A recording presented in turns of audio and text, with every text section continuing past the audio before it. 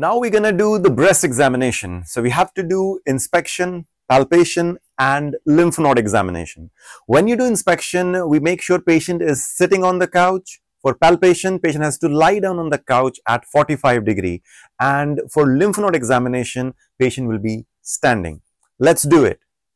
Jennifer, now I'm going to examine your breast. For the purpose of examination, I can see you adequately exposed. Thank you for that. I have a chaperone to ensure your privacy. May I proceed? Sure. Do you have got pain anywhere? No. I'll be gentle and quick. At any point of time you feel uncomfortable, you want me to stop, let me know. I will stop my examination. Okay. So now Okay. we're going to do the inspection. It has got five steps. So Jennifer, could you please sit upright and put both the hands on your thighs for me? Both the breasts are symmetrical, nipples at the same level, no bleeding discharge coming from the nipples, no visible mass, no sign of any injury or any trauma, and no scar mark of any previous surgery. Jennifer, now could you please put both the hands on your side and bend forward for me? There is no visible mass on bending forward. You can relax now. Could you please put both the hands at the back of your head? There is no axillary and supraclavicular fullness. You can relax now. Could you please lift both the breasts with two fingers? There is no fungal infection and no sign of any scar mark for any surgery. Could you please squeeze both the nipples with two fingers? There is no bleeding or discharge coming out from the nipples. You can relax now. So now I'm going to do the palpation. First thing we're going to do is the temperature.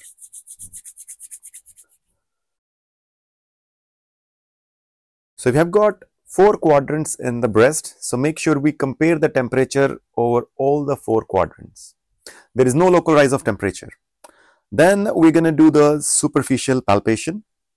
So we start from here at 7 o'clock position and make sure we are looking at the patient's face for any tenderness. While doing the palpation, you are going anti-clockwise. You're making sure you're not touching the nipples, you're not touching the areola. Repeat the same thing on the other breast as well. Again, we started at 7 o'clock position.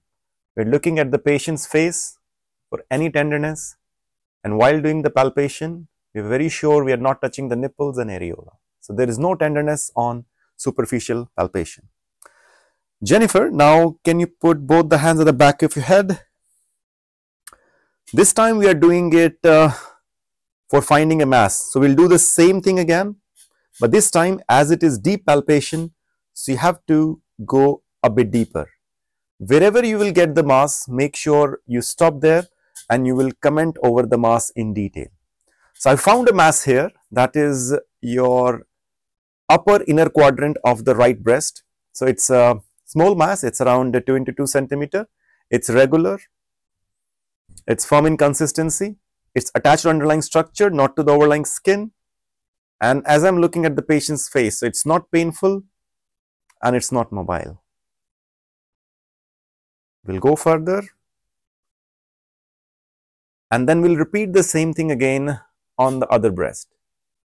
And if you find a mass, what you do, you just stop there and you will comment over the mass in detail. So that is your deep palpation. Now, what we have to do, we have to do the periareolar palpation as well. We're not touching the nipples, we're not touching the areola. So we are going to go periareolar. This is also deep palpation and we're trying to find a mass. So sometime if you have missed the mass during deep palpation, you will definitely be able to find when you do periareolar.